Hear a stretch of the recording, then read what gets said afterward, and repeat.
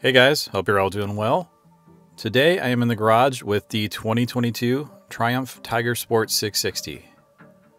I'll be doing an install today. I picked up the official Triumph USB charger kit, and I'll put a link in the description for the part. I don't have a specific use case for this part, but I was placing an order for some other parts and I needed to put enough items in my cart to get free shipping. So I threw this in here to get over the dollar amount. So I didn't know if I was going to do an install or not, but I figured I had the part, I might as well use it. Someday it might come in handy.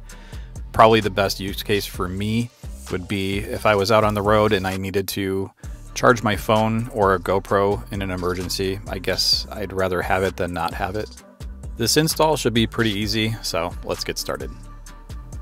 The first step for this install will be to remove the seat.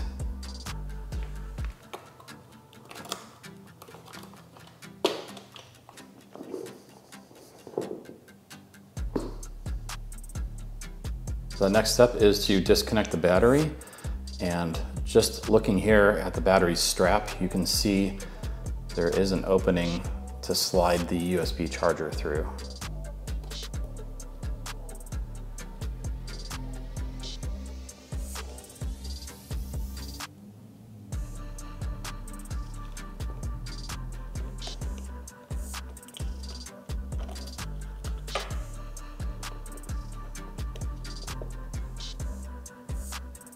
Next, we have to remove the side panel on the right side of the bike.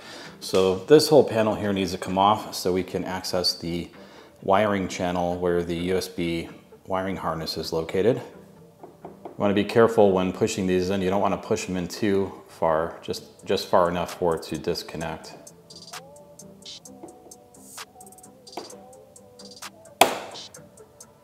Now that this side is disconnected, you want to grab this side and this side at the same time and pull straight out. And I'll show you what the connector looks like behind here.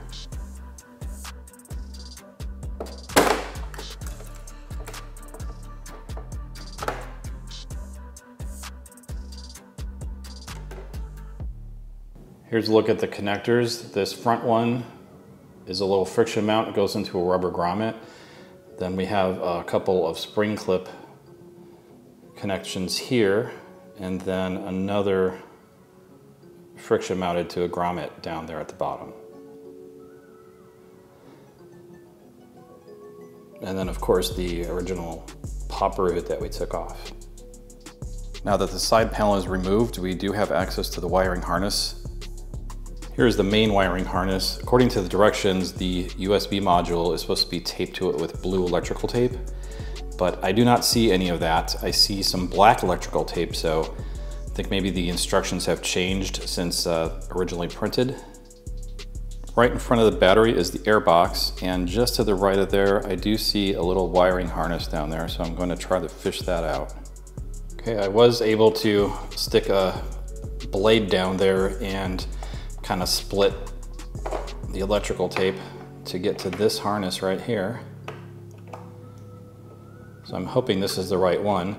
There's a little blank on the end that needs to be removed. To remove this blank, you're gonna need to push down this little lock connector in the middle and then pop this part out.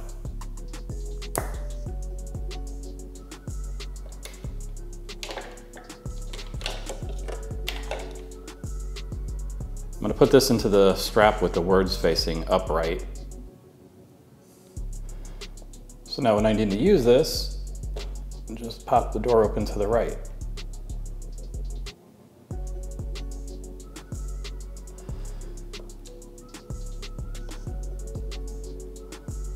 So this cable will get fished underneath the airbox bracket.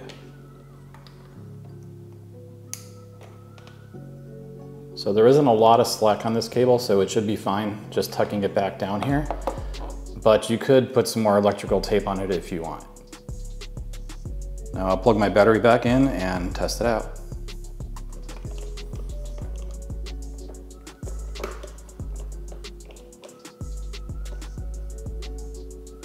All right, battery is plugged in.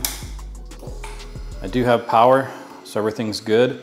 I am going to go into my menus now and make sure that My shift assist is turned on. Um, if you have any additional modules like the Bluetooth module or the shift assist, usually when you disconnect the battery, it will disable those functions. So you may have to turn your stuff back on if you disconnect your battery.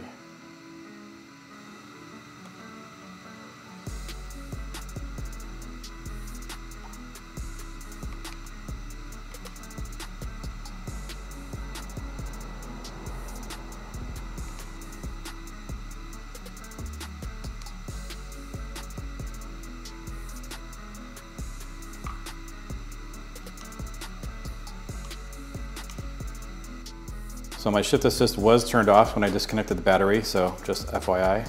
So now I'm gonna plug something in here and test it out. I have a device plugged in.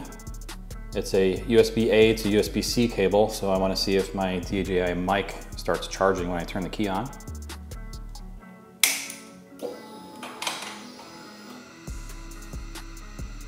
Looks good.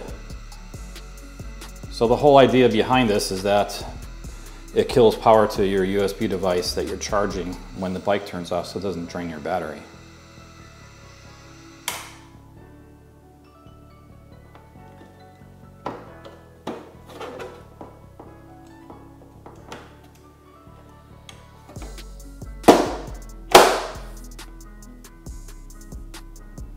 This pin has to be reset before you put it back in, so just pop it back out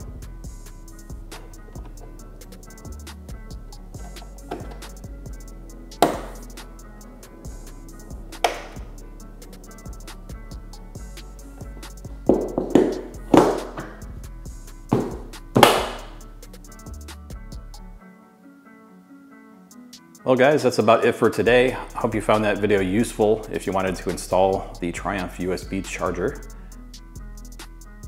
If you liked the video, click that like button and I will catch you guys on the next one.